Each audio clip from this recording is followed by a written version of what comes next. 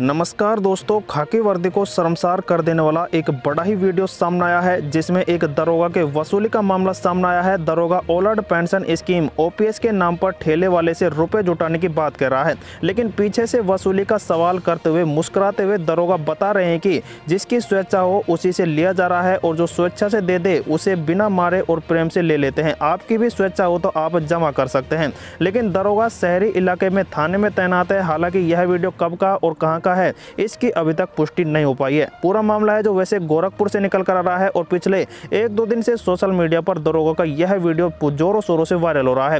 Video में दरोगा से ठेले खोमचे वाले से रुपए जुटाने के बाद पर एक जने ने सवाल किया तो उसने बताया कि वह मुस्कुराते हुए दरोगा ने कहा कि ओपीएस फंड जुटा रहे हैं। वीडियो में बताया जा रहा है कि जैसे ही उससे किसी और ने सवाल पूछा कि कितने रुपए ले रहे हो और दरोगा कहता है कि ओपीएस के लिए एक हज़ार रुपये फंड लिया जा रहा है और दूसरा सवाल सुनाई पड़ता है कि किससे ले रहे हो? इस पर दरोगा फिर जवाब देता है कि जो दे दे स्वेच्छा से, बिना मारे और प्रेम से। बताया जा रहा है कि यह वीडियो जैसे ट्रेंडिंग में आया है तो इसकी जाँच पड़ताल की जा रही है और जल्द इस मामले की सच्चाई का सामना होगा। सो दोस्तों, बड़ी खबर थी, वीडियो को लाइक, शेयर, कमेंट करते हुए कमेंट को अपनी राय ज़रूर दें।